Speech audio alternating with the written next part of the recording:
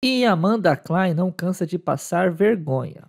Ela passa vergonha no débito, no crédito e até no Pix. em todas as formas de pagamento, pede pano. Desta vez, ela quis debater com o Cristiano Beraldo, mas tomou uma invertida que, olha, fez ela perder o rumo de casa. Vamos ver aí.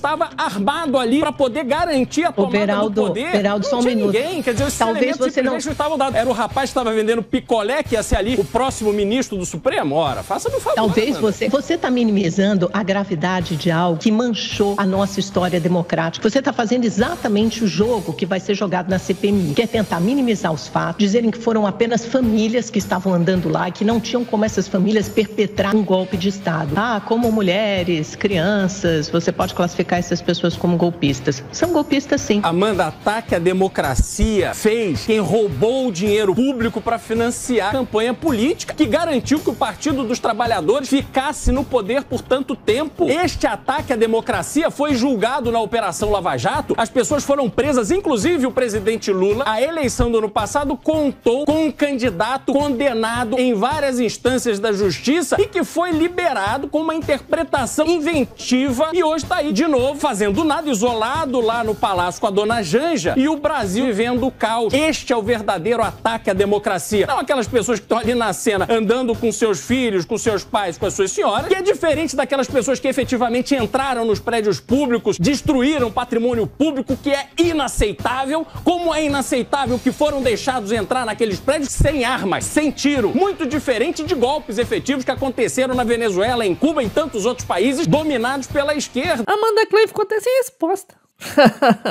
Depois dessa resposta acachapante, ela perdeu o rumo de casa.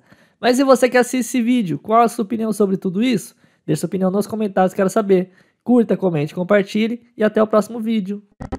Acabou!